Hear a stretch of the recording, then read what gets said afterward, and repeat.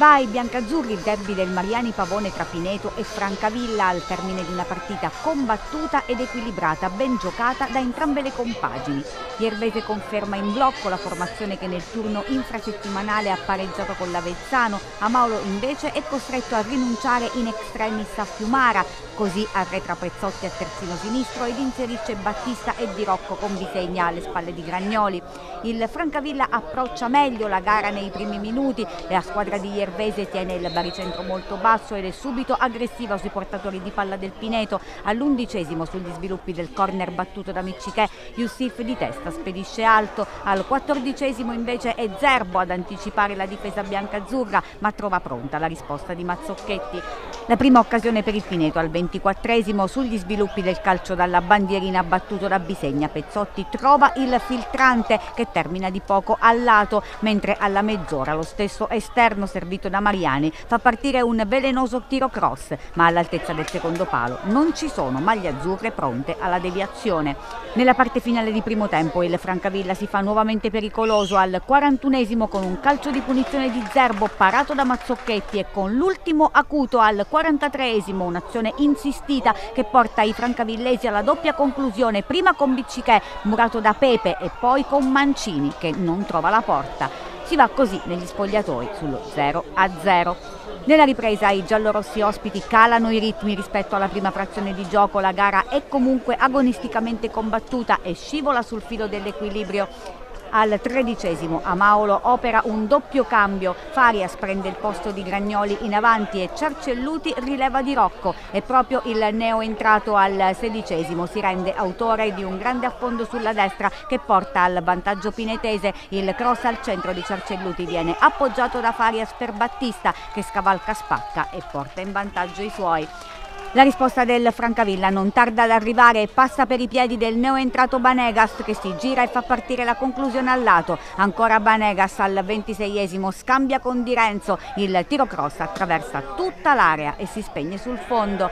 Passano due minuti e dalla parte opposta Farias raccoglie sulla sinistra, si gira bene ma la sfera termina alta. Al 35 il Pineto raddoppia su azione d'angolo di Pezzotti. Mariani stacca di testa per il 2-0 biancazzurro. I due corrono ad esultare sotto il settore dei propri sostenitori, ma proprio in quel frangente l'arbitro sente qualche parola di troppo da parte del numero 20 pinetese ed estrae il rosso diretto all'indirizzo di Pezzotti. Assenza pesante per Amaulo nelle prossime partite e Pineto costretto in 10 nel finale col Francavilla che tenta il tutto per tutto. Il forse pressing giallo-rosso però non produce gli effetti sperati. L'ultima occasione è ancora per Banegas in pieno recupero, ma Mazzocchetti non si fa sorprendere.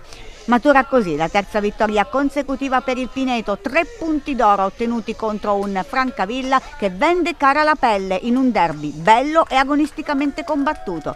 Così la squadra di Amaolo scavalca proprio i giallorossi in classifica che restano invece a quota 16.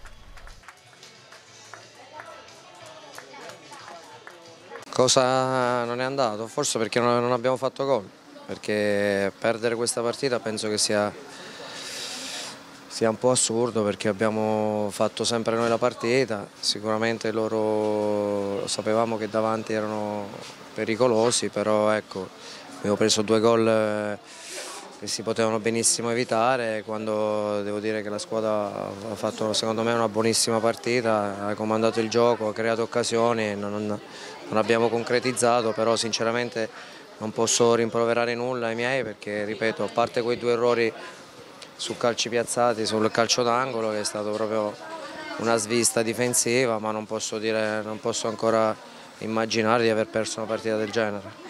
Meglio sicuramente il Francavilla nel primo tempo, poi invece il Pineto è venuto fuori nella ripresa e forse nel secondo tempo ha meritato di più. Non sono d'accordo, purtroppo non sono d'accordo perché il primo tempo eh, abbiamo fatto bene, il secondo tempo abbiamo avuto soltanto quei dieci minuti, un attimino di, di alcune ripartenze del, del, Pineto che forse ci ha, ci ha, un po' sorpreso ma poi la mia squadra ha continuato a giocare e a fare la partita. Abbiamo anche nel secondo tempo avuto diverse occasioni davanti alla porta e non siamo riusciti a fare gol, però ripeto non una, sul piano del gioco non posso rimproverare nulla, sicuramente se, se vogliamo crescere queste partite le, non le puoi perdere mai e quindi sicuramente ci servirà da, da lezione per il futuro. Una vittoria che vale doppio se non triplo, è la terza partita in una settimana e portare via nove punti è una cosa importante. Vorrei un attimo fare una parentesi e dedicare la vittoria a mio figlio che oggi compie gli anni, quindi il regalo migliore ci poteva stare.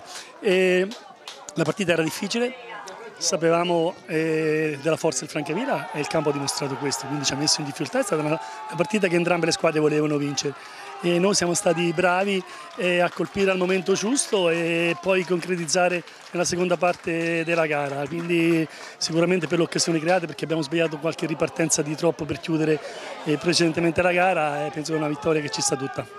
Mister Mauro, erano arrivate alcune critiche nei giorni scorsi, quella di oggi è una vittoria in cui eh, lei, Mister Mauro, ha letto molto molto bene questa partita, soprattutto nel secondo tempo poi. Sì, era una partita di interpretarla bene tatticamente, dopo i minuti iniziali dove siamo partiti con un modulo abbiamo cambiato atteggiamento tattico e abbiamo trovato l'equilibrio giusto e siamo riusciti a guadagnare campo e essere aggressivi e ripartire. Così abbiamo fatto una seconda parte della gara, quindi bravi ragazzi che hanno interpretato bene, bene la partita e dobbiamo soltanto continuare a lavorare e questi risultati ci devono dare un po' ancora convinzione dei nostri mezzi non abbassare mai la guardia e non guardare la classifica perché come, dico, come ho detto sempre in Serie D il campionato inizia da dicembre in poi e adesso dobbiamo cercare di fare più punti possibili fino a dicembre e poi si vedrà.